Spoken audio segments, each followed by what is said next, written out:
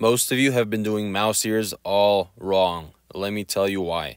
So typically when you have a large print on the edge of the bed, it tends to, you know, lift a little bit because of uh, a draft or because it's close to the edge of the bed and it's not getting heated enough.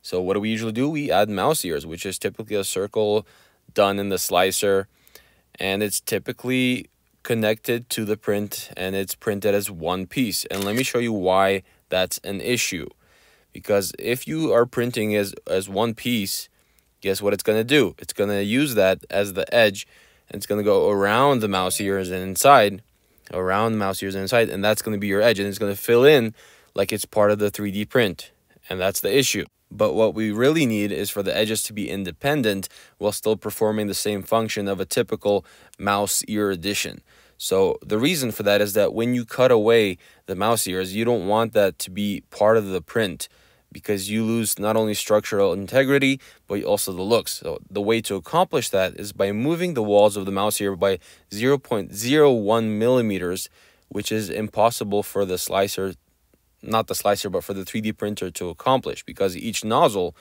typically it's a 0.4 millimeter nozzle. The lowest one that people usually use are 0.25, right? You cannot print a 0.01 gap. And the reason we have to make that gap is because if we leave it right on the edge of the 3D printed part, it's going to connect it in the slicer without making any changes. But you do have that gap in the slicer.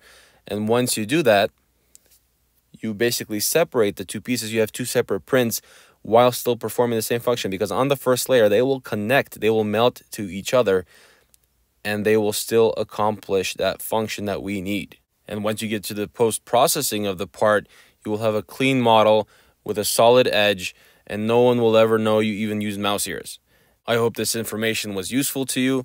This trick definitely saves me a lot of hassle, even though I do have to do this on my CAD program instead of in the slicer. But once you see those cleaner prints, you will thank me for it. So enjoy your new way of doing mouse ears. I hope you learned something. Don't forget to like, share, and subscribe, and I'll see you guys later. Bye bye.